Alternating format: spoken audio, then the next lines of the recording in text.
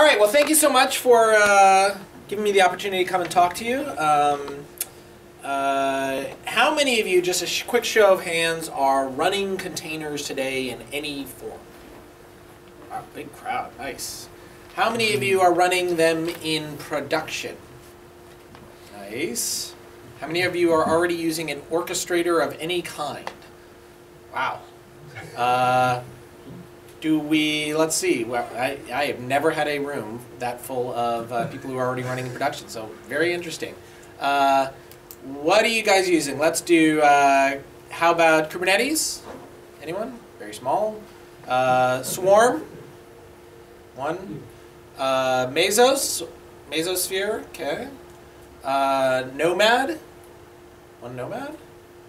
Uh, custom handwritten thing that sprays and prays? Anyone? I miss anything? Fleet. Fleet? Fleet it is. Um, so that's great. So uh, uh, I hope I'll try and breeze through some of this. So, you know, I always have a good, pretty good uh, experience just level setting for those who aren't uh, using Kubernetes. And it looks like the majority of you aren't. Um, uh, please do. This is supposed to be somewhat interactive, and I'll do a demo and things like that. Um, so you can feel free to jump in at any time. But uh, what I'd like to do is just talk about Kubernetes, how we got to Kubernetes, what our philosophy behind it is, um, and where we see uh, the Kubernetes going uh, both uh, with our 1.2 release, which should be out in a matter of days, uh, as well as the future. Since you're using my Wi-Fi. Okay. Um, so, uh, as Jens said, um, this is, containers are not new to Google. Uh, the concept of containers obviously quite old. Uh, I think we did a historical look at it, and the first one was introduced in around 1989. Like a pure, you know, within a single OS form of a uh, isolated namespace, isolated um, uh, process, resource process uh, style container. Um, Google were uh, some of Google's engineers were the ones who checked in the code into the Linux kernel that enabled it in around 2004. Um, obviously, they weren't alone, and they were built on the shoulders of giants, but uh, this was something that was incredibly important for Google. Um, what we realized at Google was that uh, machines are always going to be heterogeneous. Um, even OSs that you run on those machines are going to be heterogeneous based on the requirements of those underlying infrastructure. Uh, and what we wanted to do was have application developers not think about what was running underneath them at all. Uh, all we really wanted to do is give the uh, application developers the ability to specify a given dependency for their application and then roll it out and let you know someone else handle the infrastructure side of the world. Um, and, and that's what we made a bet on in 2004. That's when we started doing the work. Uh, Borg, which is our own internal system for orchestrating those containers as we rolled them out, came out uh, just a little bit later. Uh, and as a result, we've been running on, on containers uh, for, for uh, 10 years, more, more than 10 years at this point. And as Jens said earlier, everything at Google runs in a container. Literally everything. Uh, Gmail, web search, maps, um, every date, bit you store on disk, every network process, um, even Google Cloud Platform that offers VMs, each of those VMs uh, runs inside a container. Um, and again, it's because it gives us the ability to move these things around in such an elegant way and respond very quickly to customer demand, changes, and so on. Um, everything runs in a container. As a result, we spin up more than 2 billion a week. So when you think about adopting containers, and, and, it looks like a lot of the folks in this room have already gone down this road, um, the first thing you do is you're going to run into a set of problems, just like you ran into when you first made the migration to VMs, just like you made the migration to first running your own data center. You have to think about deploying and updating. Uh, you have to think about managing those objects once they're out there. You know, too much uh, workloads, not enough workloads, machines go down, machines come up. Uh, you have to think about how to isolate each of those workloads, whether or not it's multi-tenancy on a single device, uh, or across your data center. Um, you have to think about discovery once you bring something up. How do you notify all the other things in that data center around uh, the thing that you just brought up? and then of course scaling and replication. Do you want to run n, n plus 1, n plus 2, and so on. So it is, it is a different way to think about uh, how you run your production architecture. It is something that all the concepts are the same and they're going to be very familiar to you, but you're going to have to do kind of a translation mapping in your head. What are the new sets of tools that are required for me to run this thing in production? So we, uh, in 2014, introduced Kubernetes. Kubernetes is based on what we run at Google. Uh, we, we, what we run in Google is something called Borg. Uh, we released it in 2000, uh, we built it in starting in about 2005, 2006 to support all those containers that we talked about uh, earlier. And in 2013, we looked at Borg. We looked at the advent of people adopting containers, whether or not it was Docker or Rocket um, or you know LXC. Um, what what were people going to need to do when they brought things to production? And so we kind of reversed the you know rewound the tape, started playing, and said, well, you know what? They're going to need something pretty close to what we did with Borg. And so we took all the concepts in Borg, migrated them to open source, rewrote it in Go at that point, and released it to the open source. And, and the only reason we didn't release the Borg code, there's nothing special about it, it's just not really useful for folks that don't already have our data center. Um, our data center is extremely bespoke, you know, no one else in the world runs like we do, and it, it wouldn't make a lot of difference for folks. You'd have to build enormous amount of translation. Uh, but in every other way, if you looked at a Borg configuration and a Kubernetes configuration, it looked very, very, very similar. But the most important part uh, on this slide is this middle one here, which is much in the same way that we with Kubernetes or we with Borg have heterogeneous data centers that are wired together behind this container architecture.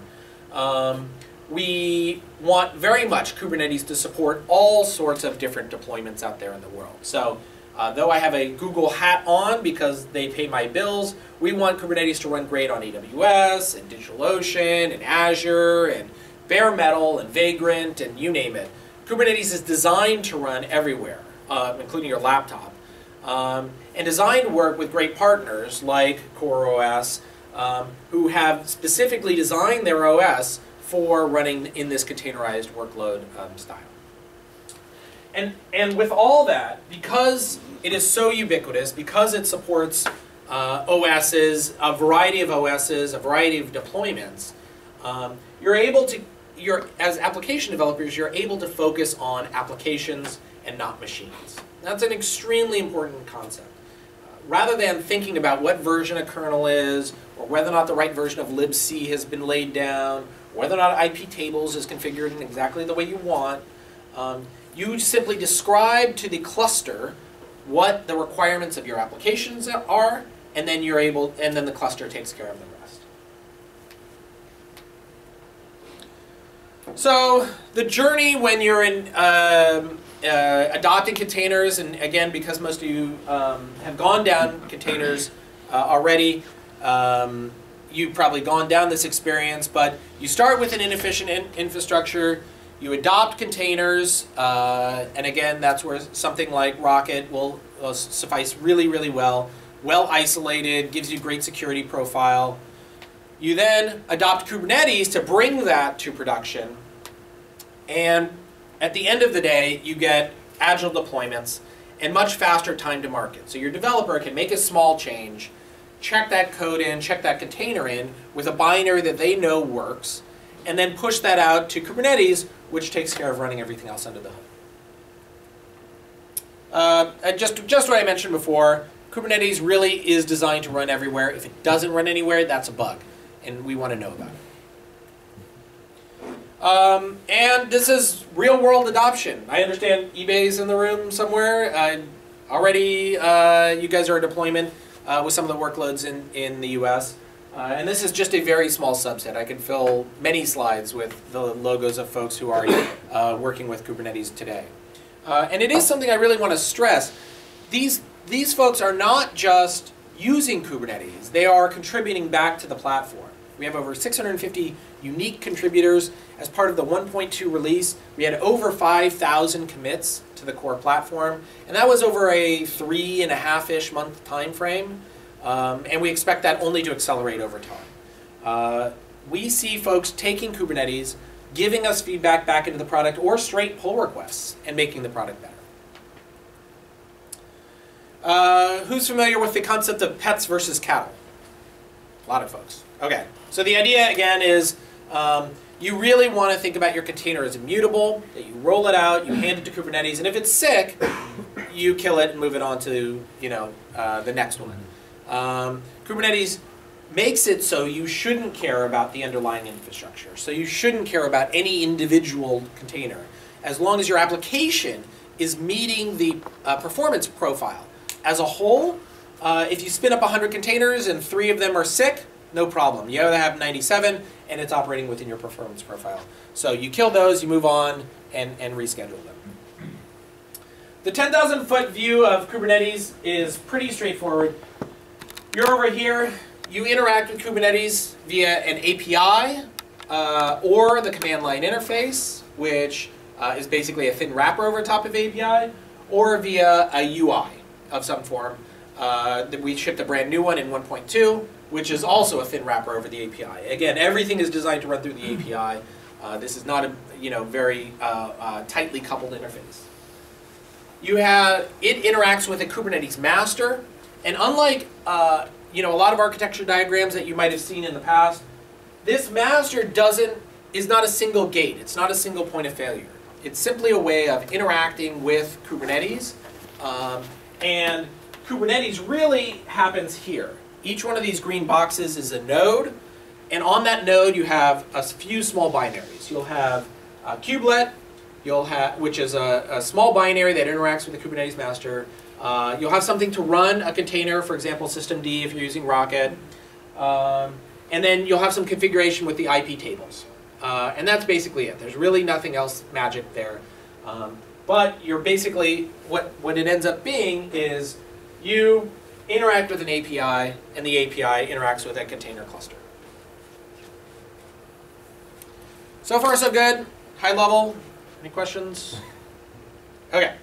So there, there's basically two parts here to any container cluster story, getting to that green uh, cloud over there.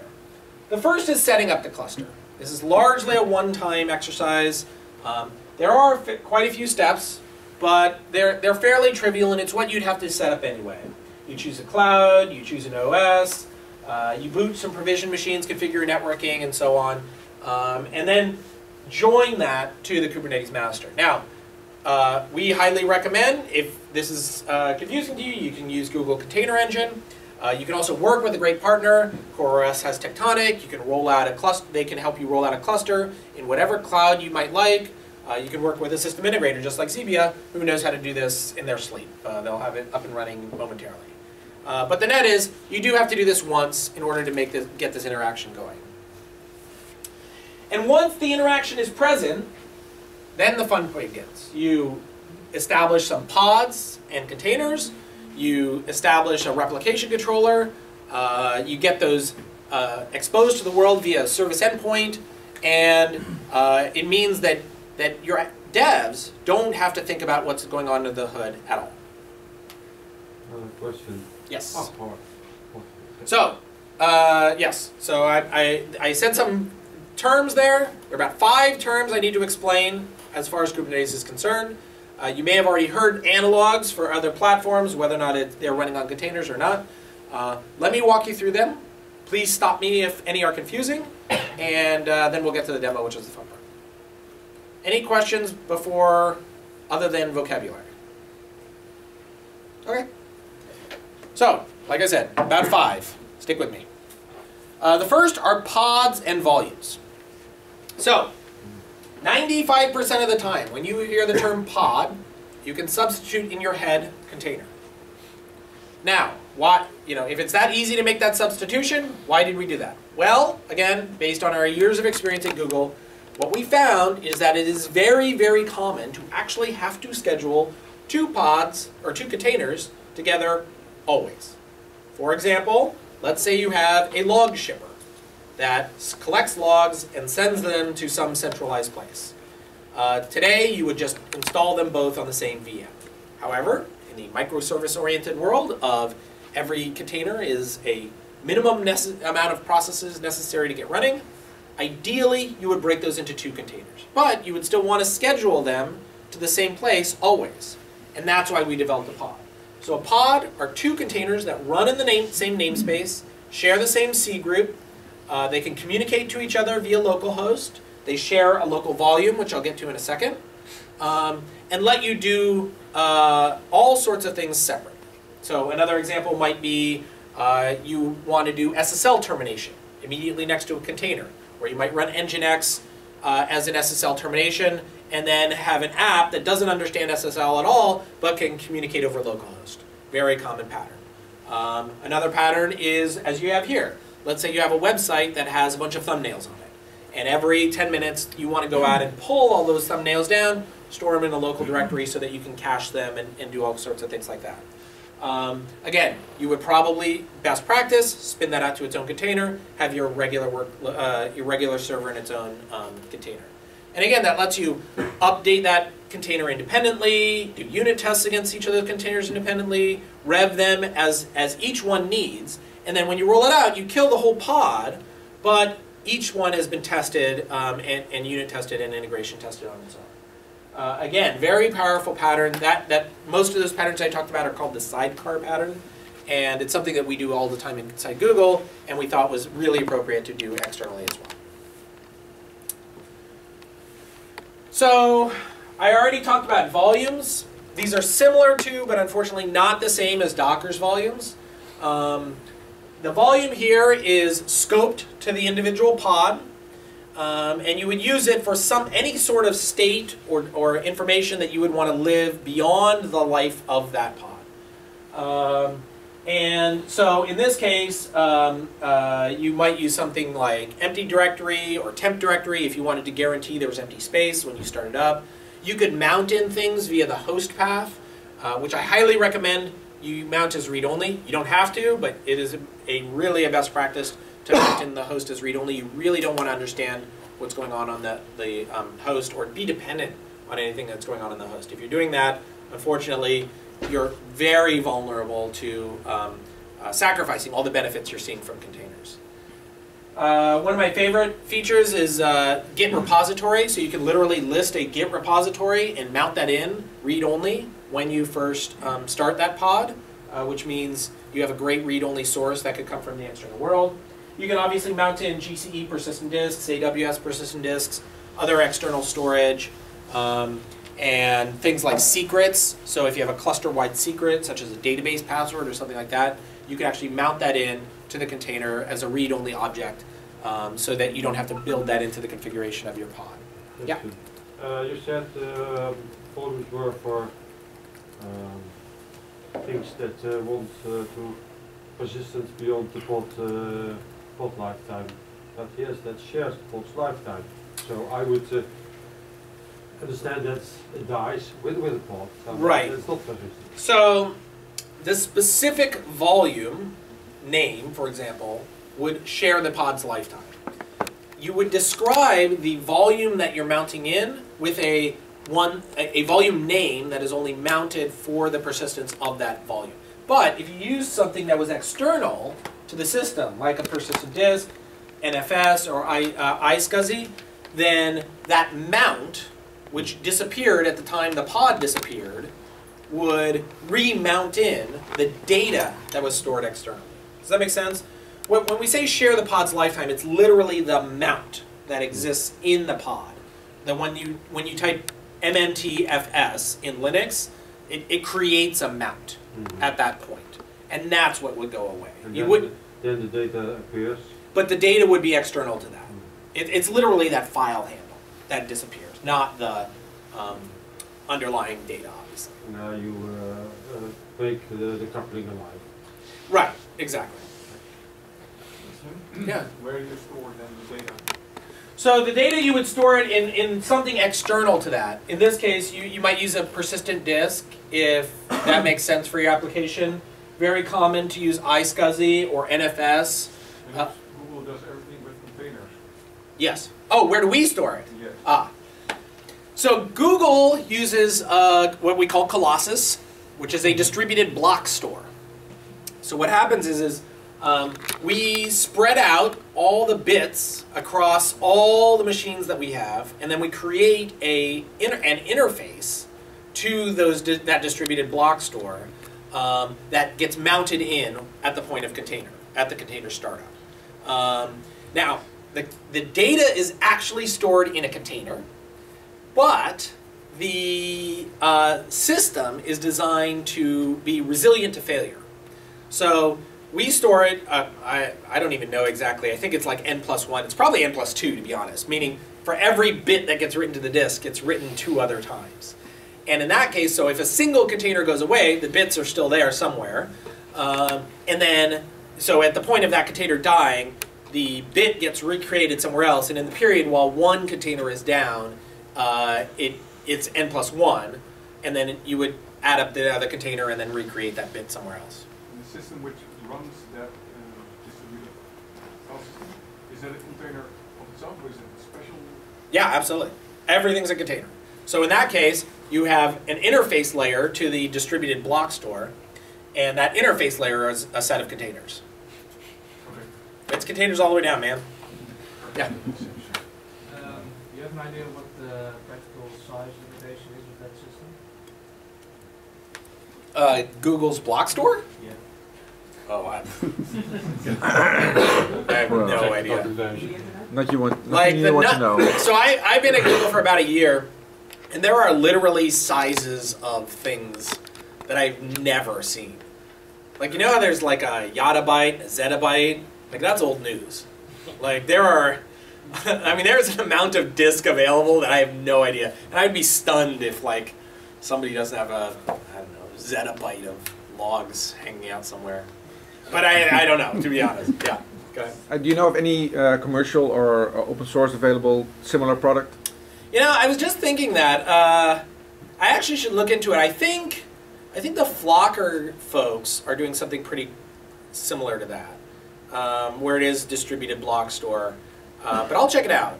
Um, we inside Google, in the Google Cloud, in the Google Cloud, we have a bunch of storage offerings um, that that mimic that. But in the spirit of hey, I'm half Google and half Kubernetes. Um, uh, I'd be surprised if there wasn't something that was doing this externally. And I'll, I'll check it out. And I don't know. How, do you know one? No idea. I'm sure somebody's out there doing it. Like, it's funny. Again, I've been at Google a year. The number, I, I, I'm an open source guy. And uh, I came to Google and I was like, holy crap. Everything, all right, it wasn't invented here, certainly. But everything that you've seen recently, every NoSQL, every distributed X, every MapReduce product in the world, uh, there's a Google internal equivalent. And almost always it was started at Google and a bunch of people quit Google and went outside and like cloned it. Uh, it's fascinating. And I mean, even Borg, right? The number of people who worked on the Borg project and then left and started a scheduler of some sort. it's, uh, significant. So, we, uh, yeah, uh, it was. It's very funny. Internally, we joke uh, uh, because we went and introduced. You know, we went and recently um, created a uh, Hadoop compatibility layer, which is really funny because Hadoop is almost a word for word recreation of MapReduce, which we had done internally.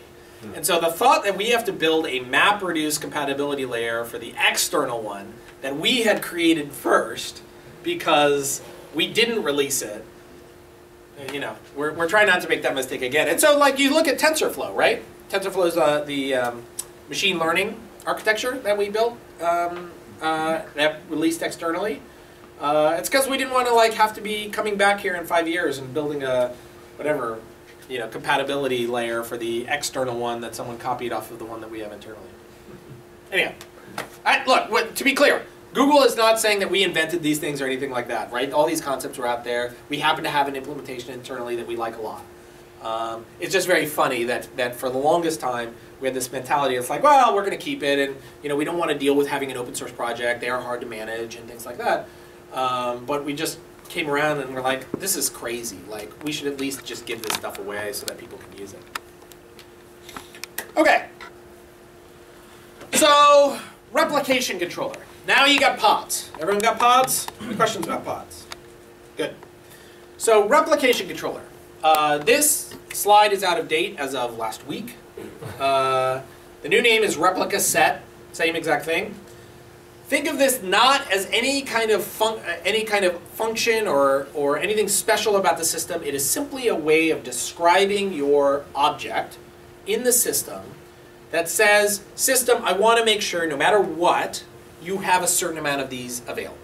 And so in this case, you say, "I have a pod that I want to run on the system. There must be four at any given time." With those four, you don't care. You don't care where it runs, you don't care when, you don't care what machines, network, etc. You just make sure there are four. And the system takes care of that for you. It watches the pods that are out there, makes sure they're healthy according to health checks. Uh, if they're healthy, great, good times. If they're not healthy, kill, restart, so on and so forth. Very, very straightforward. You just tell the system. And in this case, for example, the system starts up, you say four, there are three out there, great, start one more, checks again, there are four, great, I'm good. Make sense? Okay, so now we have replica set and pod. Let's talk about next fundamental concept, labels. So a label is an arbitrary key value pair. That means anything you want. A colon B. Key value. Um, you use it to represent the identity of your underlying objects, and it gives you the ability to interact with them via selectors. So think select all A's in the system where it equals B, right? Very straightforward. Uh, it is it is the way that a replication controller looks for pods, or a service, which I'll get to in a second, looks for pods and directs traffic or ensures that's a certain amount of running. So, quick example. Here's a pod. It's got three labels associated with it. Again, these are arbitrary. App, my app, phase, production, role, FE. You know, same over there, except that's a backend, right? Again, totally arbitrary. You can do it whatever you want. But what it lets you do is select an entire set. So you can say, I want you to shut down everything where app equals my app. Or Let's say you want to do a rolling update. I want to do a rolling update where combination app equals my app, role equals front end. Or backend, or prod, or test. And again, because these are labels and you can combine them together, it means you don't have to do the super annoying thing, which we've all done, where you rename your VM to US West 1, front end prod 25, um, you know, uh, test cluster version 71, right? Like, that's the name of your VM, because that's the only way you could identify it, right? No. You get labels, they're super convenient, you can do exactly what you want. Okay. So, two more concepts to go. This is not, not nothing new, but this is our philosophy. So, Docker networking. How does, Do how does Docker networking work? Well, you have a node. Node has Ethernet on it, some sort.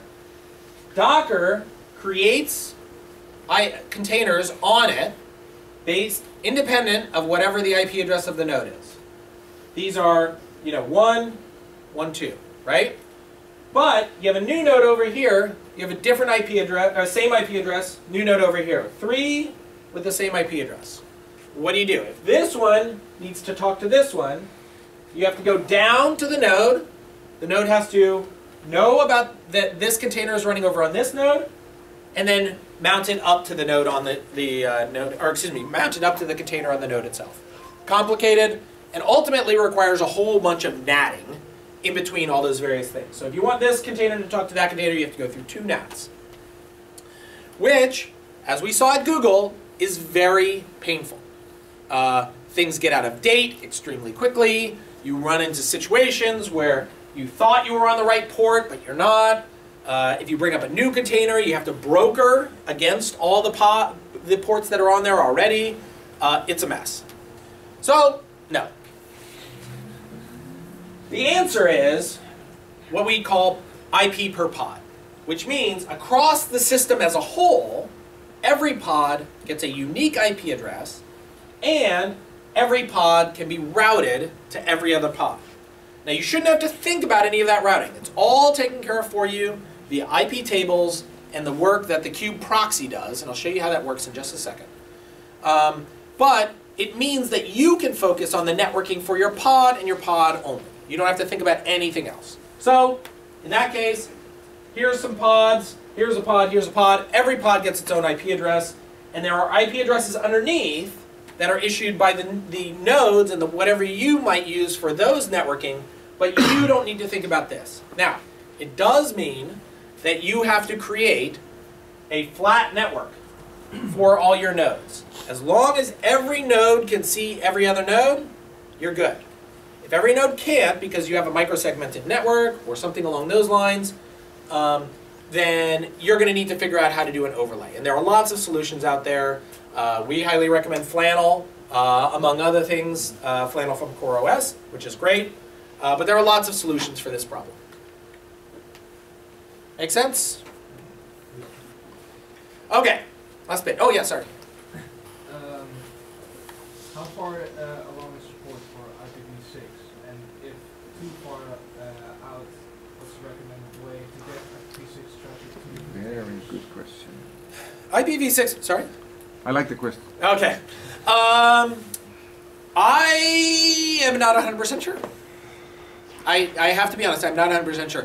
To be clear, we generally have a um, uh, 30,000 pods per single cluster limit as it is today, which should easily be accommodated by the 10 dot IP address space that you have. That said, that's not enough.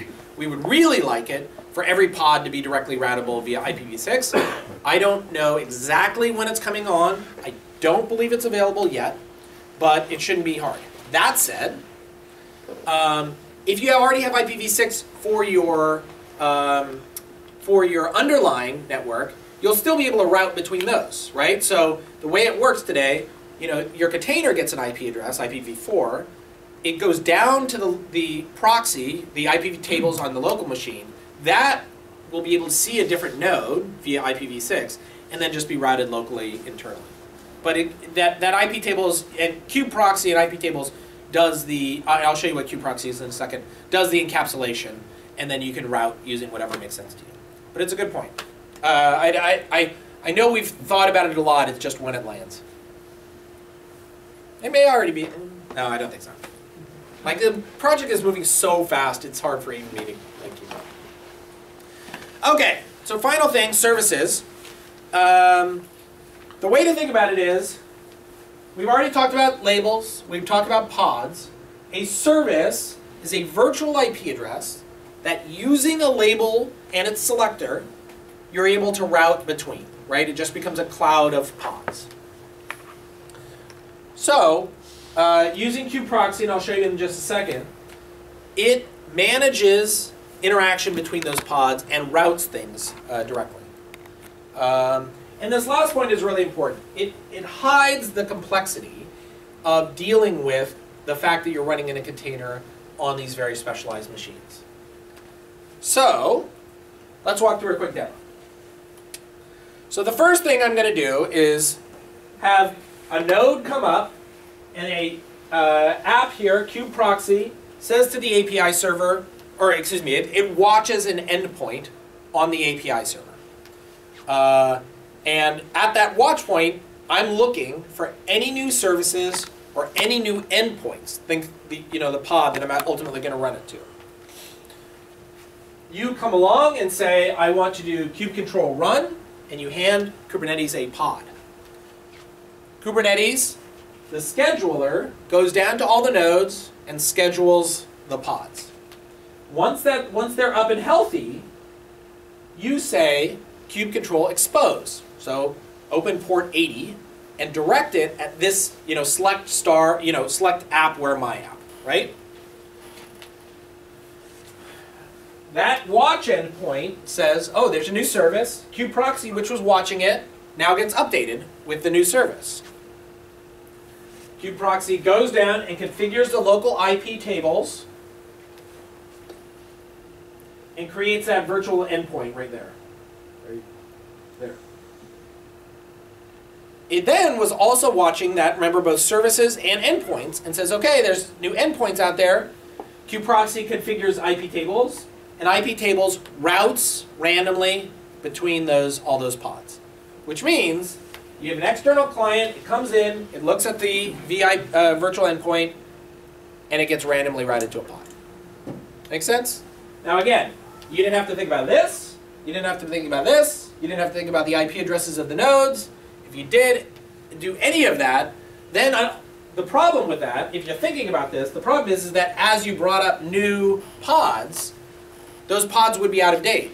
You wouldn't be able to find them, and you'd have to run your own service discovery mechanism. Okay? So far, so good? Yeah, how do you uh, find, uh, because it's a VIP, a real, IP address? It is. It is. Yeah. Uh, let me show you in a demo. Okay. All right. So, without further ado, any any questions before I start the uh, fun part? All right. Ooh, that is very small. Huge. Okay. Let's get this of reasonable size. Can everyone read that? Can anyone read that? Yeah. In the back? Yeah. All right. So, what I've done here is I've created a very simple client. Call it Icons as a Service. Hit a button, get an icon. Oop, there we go. Button, button, button, button, new icon. Right? Awesome. Super fun. All right, so, and what I can do here is just to show you, and I'll show you why I'm showing you this in a second. There's a gives you an uh, JSON endpoint here that uh, just shows you the information that's being rendered on the front end. So let's see if I let's see if uh, the load balancer is sticky. Uh, you see this endpoint here? Let me see if I hit refresh. That didn't update. All right. What's going on behind the scenes is I'm actually already running this on Kubernetes. This is a single container inside a single pod running on Kubernetes. And what it's doing is this. It's a this is a replication controller manifest that I described earlier. It's really straightforward, right? You say, I want a replication controller, skip the metadata name, not important. I want two replicas. Here's that selector I talked about earlier, a name and a version, template, metadata, labels. Uh, this is the labels for the, the containers in the pod, or excuse me, the pod itself. And then a specification for the pod, which is simple. It's got an image name, it's got a name for the container, and it's got a liveness probe. That's it. Really straightforward. This is all you need in order to start running a container. As those who were at the event on uh, Saturday did themselves. So there you go. Now, we talked about uh, service before. What you see here is this is what a service looks like. It's even simpler, right?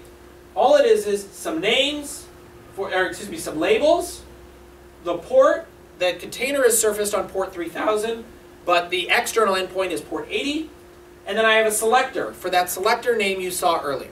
And that's it. It's looking for anything that has that selector name. Okay? Actually, I'm just remembering that I'm going to have a bug later in the thing because I changed this to prove a point earlier, and so I'm going to have to change it on the fly. Da-da-da.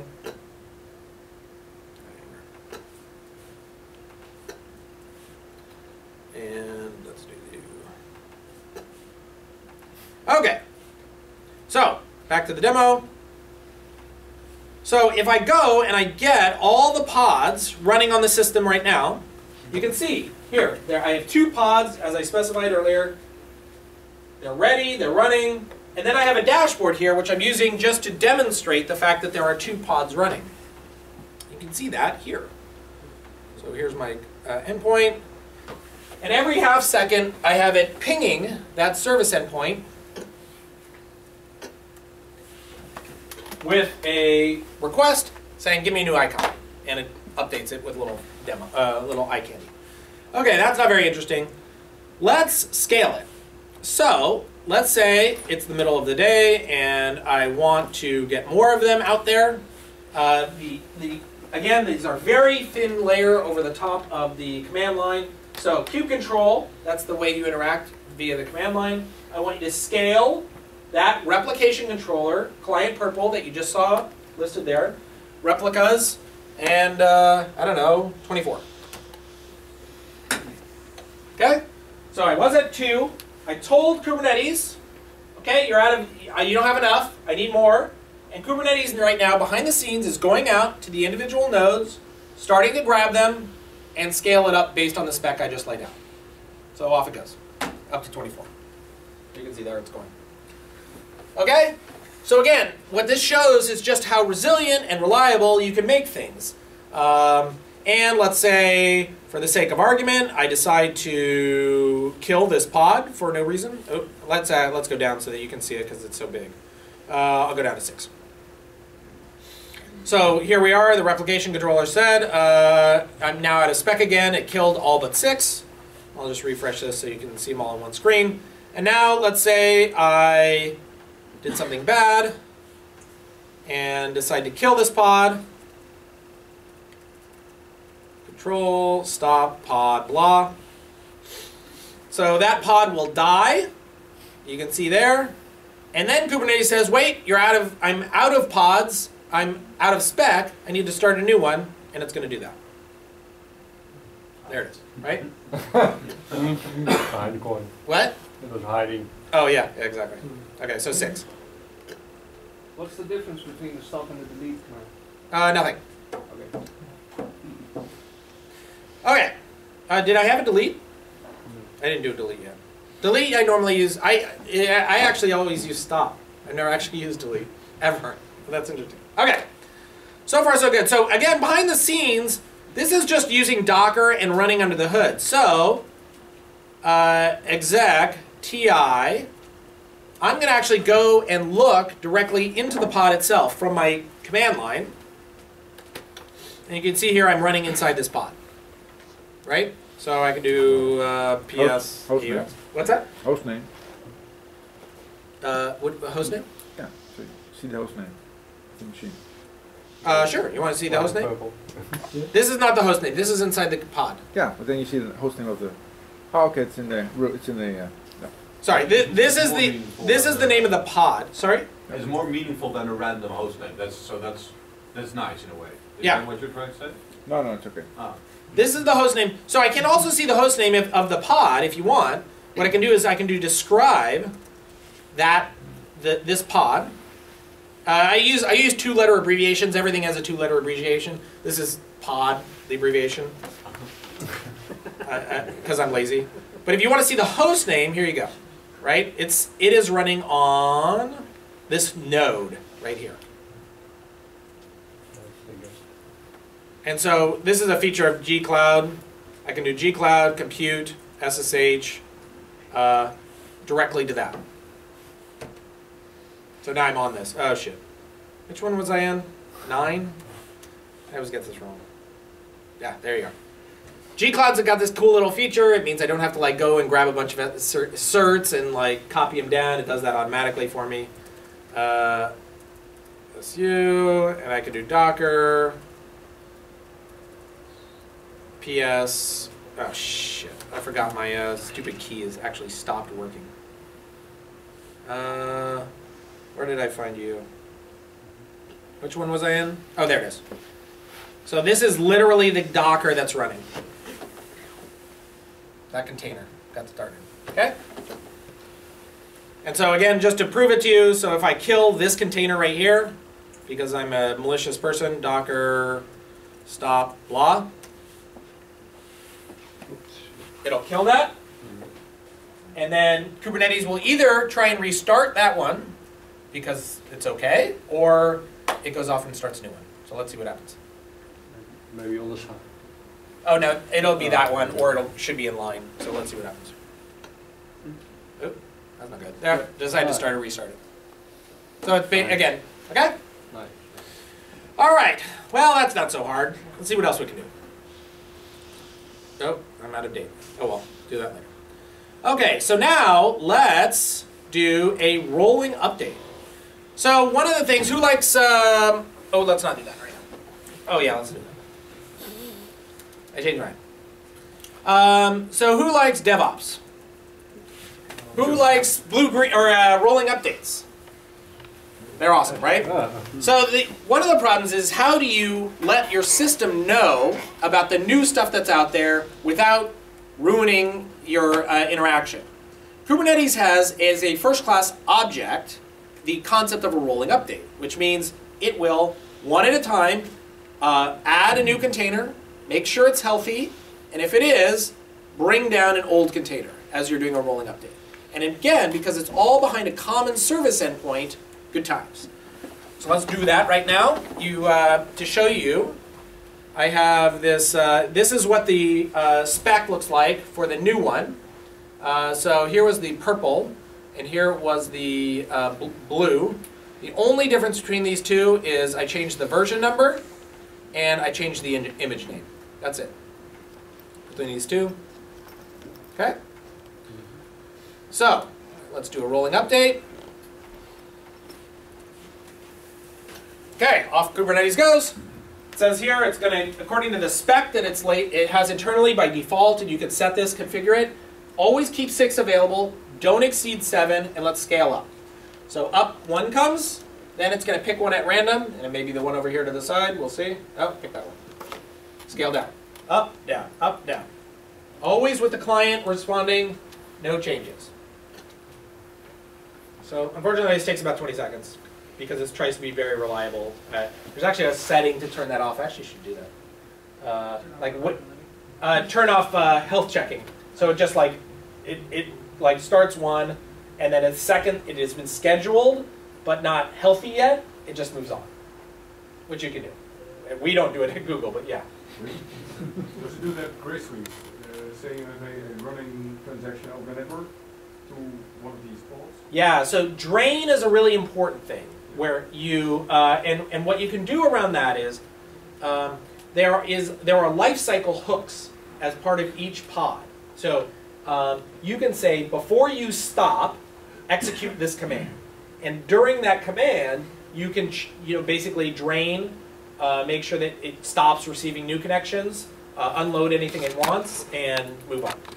But Does that mean the grading process should be implemented in the Docker thing itself, and the TCP tricks they do uh, with some of these technologies? Is Kubernetes taking care for that, of that for you? Or does your container and application have to implement that? No, your container does have to implement that because it can't know exactly what your application is doing.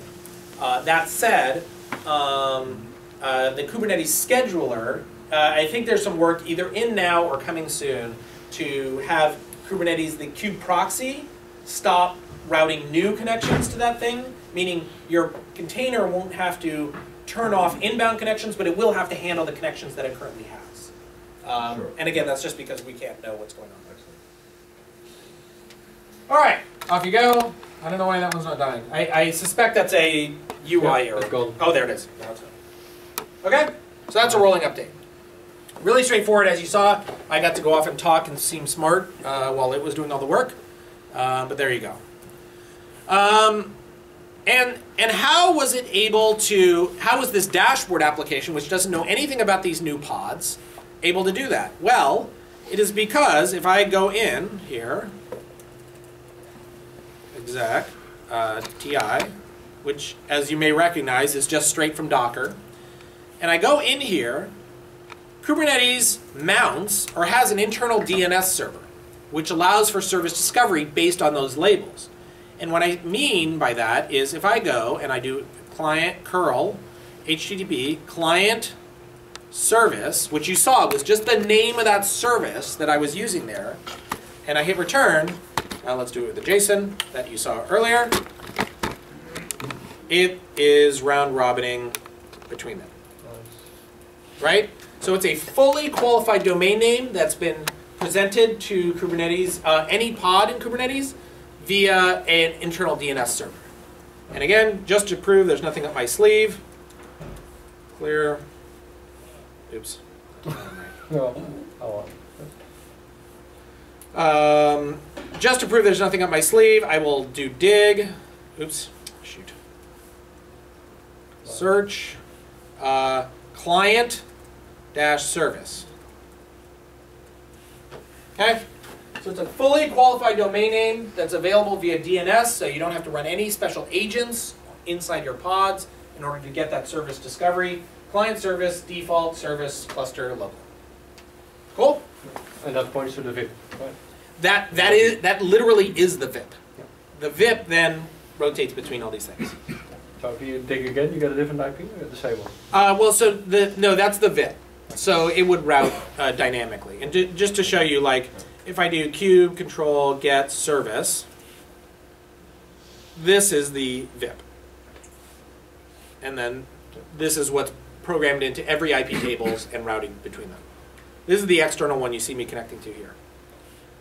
Okay, last one, last little demo. So uh, you like DevOps? How about some blue-green deployment? There. So I created a new cluster where the button is green. Oh yeah, I didn't show you. So if I go back here, uh, the button is now the button has now been changed from uh, purple to blue. Okay, last bit here. Um, where are you? Oh yes. So now I've created a new one where the only difference between this and the green one is the version and the container image. Again, you can see, no difference. And I want to do a blue-green deployment where I shift uh, two eighths, one fourth of the traffic to this new deployment as I'm rolling it out. Uh, but I don't want to make any changes to the service endpoint or where my clients are connecting to. So what I'm going to do is I'm going to roll this out. So I'm going to create a new replication controller, which is just at my um, at pointed at those green ones. But I'm not going to take down the old one. So in this case, I create two more as part of that. And so what's going to happen is these new two containers are going to um, join the service endpoint and get one or two eighths of the traffic, one fourth. And so as that, uh, as the green one starts to behave, I now maybe want to go to 50-50. So I'm going to spin up six replicas, where I, I have six replicas of blue, only two of green. That's why I got two eights. Uh, now I'm going to go to six, which will give me six to six out of 12 going to each version. So I do that scale. Um, and while that's coming up, I'll type the next one, which is uh, now that the green continues to perform well, I'm going to scale down blue, and you know then I'm done. Okay? Any questions? I think you should explain that that is based on labels. It is. Uh, so the reason that I'm able to do that is exactly uh, the labels. So in this case, the labels that this service endpoint is looking for is this selector right here. Remember that I said that it's just a key value pair. Select X where Y. So in this case, select this service endpoint is going to any pod where it matches name equals client template label. And so in this case, this is the selector, and then here is the label, sorry. Here's the label for this one, and here's the label for this one. Make sense? Okay. Any questions before I just finish up here real quick? You, uh, you mentioned the new UI. Yes. Uh, do you have the ability to show it? Um, sure. Uh, I have a little bit of it. Unfortunately, uh, 1.2 hasn't rolled out completely. Uh, or 1.2 is not on GKE only. That's all I'm showing here. I can show you a little bit of it. Uh, I just showed this at KubeCon, so forgive me for paging in an old slide.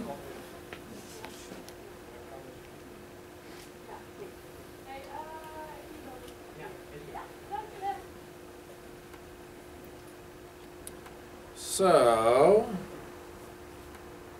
let's present from here. So the idea is that what we wanted to do is make it very, very simple. You know containers, you know how to build a container locally and make it very easy to start up a, a new one. In this case, we're just going to make it really easy to deploy an application. So you click a button to deploy an app. In the app, all you need to know are the absolute basics of the container. Now, you can do it in more advanced view, just like you saw as part of the YAML that I had earlier. But in this case, I, I know it's fairly small, but it says app equals app name, and you can do whatever you want there. The container image, which is either uh, a short name for Nginx, or excuse me, for uh, Docker Hub, including the, the uh, label or uh, version. Always use a version. Uh, a number of pods that you want to spin up, and then the endpoint that you want it pointing at. And if you have no endpoint, that's fine too. Uh, and then you can also say expose that externally, and it'll it'll do what I did in that. So four total like answers, and you have a container running. And once you do, it looks like this. Very straightforward. You have your app here. You have information about it, number pod, number pending, image, age, so on. And you have a whole bunch of metrics behind it. So you can see almost anything that you do in the, the um, UI today, or in the command line today. Okay, so just finishing up here real quick. How are we doing on time? Do I have till three? Am I over time already? Yes, you're over time. Okay. All right. We have a break at from three fifteen to three thirty, we have a coffee, water break. Okay. And starts at three thirty. Oh, okay. So So you we, wanna continue or question, this is a question that came from the audience, right? So- yeah. I'll go real quick through the rest of it. There, there's not much left. In Kubernetes 1.2, we had five big improvements. Uh, scale, you saw the new GUI. Uh, we have a simplified application model, so uh, what you saw there was even a little bit more ba uh, basic. Uh, we have a very easy way for you to roll out applications via code. Uh, we have some automated cluster management tools, including things like run one and only one container per underlying node, improvements in Kubernetes, improvements with uh, ingress, so you can do L7 routing and things like that. And finally, and this is one of the most important things, a built-in extensibility model. So um, it allows writing your own third-party extensions. This is something that's core to Kubernetes. We want very much for you to take it and customize it on your own. Um, there's no, you know, we are a community-driven project, which means not only do we take core code and things like that, but we also, it's incredibly important for us that you can take it and customize it in whatever way you see fit. Um, and everything you saw here, from service endpoints to networking to so on, uh, is swappable. You can take out anything you'd like. Question on that. Yeah. Uh, For configuration uh, version management, uh, how is that done uh, programmatically? Um, all right, well, let me show you.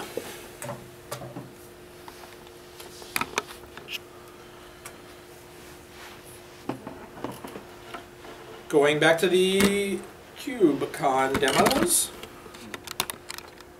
Uh, this is deployment. This is a configuration map. Okay, so configuration map. So today, for example, you ha you normally um, or you want to manage your configuration separately from your container. Today, a lot of times, you'll take a configuration, build it into a container, bad times. Um, the problem is that um, you know there aren't a lot of options. You can either build it in, you can uh, use an external config store, which has its own problems, um, or you can run a sidecar container that, as I mentioned, that was a pattern before, uh, that pulls in it, but that, that's just more management headache for you. So the solution is what we call config map. In this case, the, they're late binding, they're live updated, and atomic. So your container starts, and it pulls down that config map that and mounts it either as a file or an environment variable. Where does it get it from? Uh, it gets it from Kubernetes, the API server.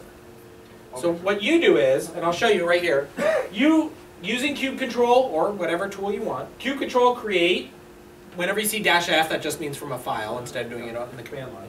Kube control create, in this case, etc, uh, etcd um, config, and it, this provides a discovery rally point. So it mounts it as an environment variable, this you know discovery URL and etcd peers. It takes you you do that, config map pushes that into the API server, and then any pod that had subscribed to that configuration mapping now gets updated. And so in this case, it pushes it down to those pods. That's very comparable to, like, say, Google. Uh, it is. Um, Consul requires a local agent running, and we don't. And that's very important to us. Uh, an agent is just one more thing that can crash. Yeah, so is this an abstraction on uh, the concept of Consul and etcd? Because I think the, the data is stored in the back uh, of uh, etcd behind the API server. Yeah, so so you may have heard that that Kubernetes uses etcd. It does, um, but don't. It is very much an implementation detail uh, that we manage on our own, making sure that it's stored and up and kept up to date and things like that. You should never think about it. It's like thinking about libc. Just don't worry about it. Yeah, so I have two questions then. Yeah. So first of all, how, how, how do you query this value uh, where, where the key is discovery underscore URL? Uh, how does the application queries that uh, value? So the, is, what, what kind of mechanism uh, or API does the application need? The a- application needs nothing. It's already provided. You can either mount it as a file, so let's say I put it at etsy slash etcd config. The YAML file, the application can read the No. YAML file. So right, what would happen is is in the direct in the file itself, in the excuse me, in the pod itself, there would be a file. That file would be named discovery URL, and its value would be this. So this concept is very uh, similar to the secret management. Exactly the same as the secret management. Okay, excellent. Or, and this is better than the secret management, you can mount it as an environment variable. Mhm. Meaning, you go in and you do dollar discovery underscore URL, and the value will be that. Excellent. So now the question two is um, uh, for what kind of stuff, if, if you would uh, be able to give a best practice recommendation, uh, is there still a need for uh, etcd Consul or other key value store? Or do you say uh, the Kubernetes abstracts that for you and you have an application level mechanism that, that you know replaces this Well, I mean, there's th- those things I think excel at distributed state, right? So etcd is a perfect example of that. It's highly reliable. It distributes state across a number of things. So you could have an atomic store where, you know, let's say um, a given application reached step seven of a workflow, and another pod started up and said, "What step should I be on?" It could pick that up from the pod and say, "Okay, I'm ready to go." That's your best practice there. We do not recommend, but it is certainly possible if you have a highly um, complex architecture and it's already dependent on Consul and things like that. You could absolutely run Consul, continue to do it as a service discovery agent. You can absolutely use it for config storage. Uh, it is a good, highly available, uh, distributed key value storage. That said, this is provided for you and supported as a first-class API. But it's So- not strictly consistent, etc., etc. Yes. So It- you, yeah, absolutely. Late binding, live updated, and atomic. Those Excellent. were our key things. yeah. And Yeah. and how do you match this? Because different environments will have different uh, config maps. So that's an excellent point, and that is one of the key things that we recommend about Kubernetes. Uh, this is how we operate inside Google, just FYI. You should have a separate Kubernetes cluster per defined environment. So you have one for dev, one for test, and one for production. So you cannot use it for. Or, sorry? Well, you show the blue-green type of deployment. I can imagine that you change the configuration for the you know the green ones. Well, uh, may- maybe. Okay. It, it depends on what you would want. If you were going to do that and you were going to do a blue-green deployment of that sort, then you would um, have the blue or the green replication controller uh, ask for a different uh, configuration mapping as part of build time. You would say, I want this to map to this other type of configuration. Uh, or you can use one Kubernetes cluster and have different namespaces for the different areas, and then your configs are by namespace. Make sense? Yeah. Yeah. And if you have those different clusters, uh, dev and production, um, how do you deploy to those different uh, clusters? Um, uh, related to that is, is Ubernetes ever going to happen? Wow, you're impatient, man. um, okay, so to deploy to those different clusters, very straightforward. It's a single command line interface to swap between uh, environments. So very easy to push out one way versus another. You can do it via the UI as well. Um, Ubernetes, uh, for those that don't know, is a universal API that overlays multiple Kubernetes clusters and establishes a federation relationship between each of those Kubernetes clusters. So if you have a Kubernetes cluster in Asia and one in Europe and one in the US, you'll have a single view over the top of them, which means you can do load balancing across them, you can do application migration between them, uh, but our goal is to make it no more complex than managing a single Kubernetes cluster. Um, we announced it at Kubernetes, uh, KubeCon in November. We already have Ubernetes, uh, what we call Ubernetes Lite, which is where the scheduler is aware of different replication zones, um, and that is shipping in part of 1.2, um, which means you can intelligently describe how you want to schedule across a variety of different clusters, uh, or uh, different pools, and ensure reliability according to your spec specification. But that's still within a single Kubernetes cluster. You have to build basically a load balancer that goes between the variety of them. Kubernetes 1.3, which is coming out in a matter of 16 weeks, will have Ubernetes, Ubernetes proper, which is what I described, a single universal API that looks across multiple Kubernetes clusters. Uh, where would you store your config, your objects? Which etcd? Uh, no, you would you, it, you would uh, deploy to all. You would deploy that config map to each of the Kubernetes clusters. Um, I actually don't know what our solution is going to be for distributed uh, config mapping. Uh, I would be surprised. The team that's working on it is quite well aware of the problems involved, and uh, I'd be surprised if they didn't have an answer for that. But I don't know what it is. The, Okay. to, to be specific, very quickly though, to be specific, The last minute? the right answer is you should store your config in some central, like GitHub repository, and then universally deploy. So should we do one last question, or do you have a one la- do you have a wrap up you want to give? Um, no, other than um, Shake things up.